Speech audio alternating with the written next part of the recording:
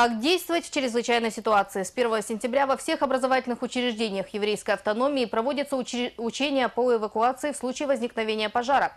Как подобная проверка на оперативность персонала прошла в первой школе Биробиджана, знает Виталий Ищенко. Ну, во-первых, мы Нет, всегда- все уже действуйте, ничего рассказывать нам не надо, действуйте.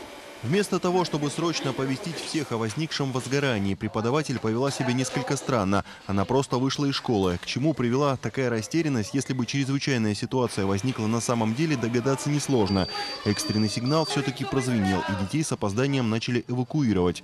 Общий сбор за воротами учреждения. Учителя докладывают директору о количестве выведенных на улицу школьников. Сверяют цифры.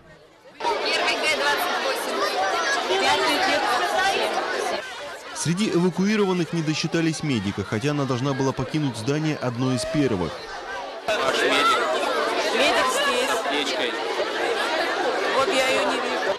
Медработник наконец-то вышла. Эвакуация закончилась через 11 минут 14 секунд.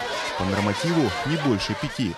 Сегодня почему-то персонал очень действовал растерянно, неуверенно э, и неорганизованно выводили детей. А, Учителям английского языка дали водное возгорание, да, э, и данный учитель э, не смог никаких действий предпринять, чтобы эвакуировать всю школу. Затем уже в кабинете директора сотрудники МЧС составили акт по результатам учений, в котором указали на допущенные нарушения и дали рекомендации, как действовать персоналу школы в таких ситуациях. Учения по пожарной безопасности здесь проведут повторно.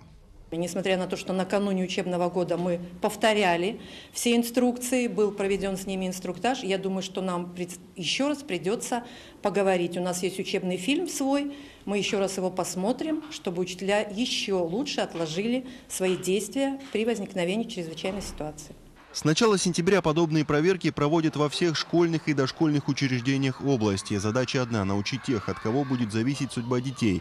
В чрезвычайной ситуации действовать быстро и хладнокровно.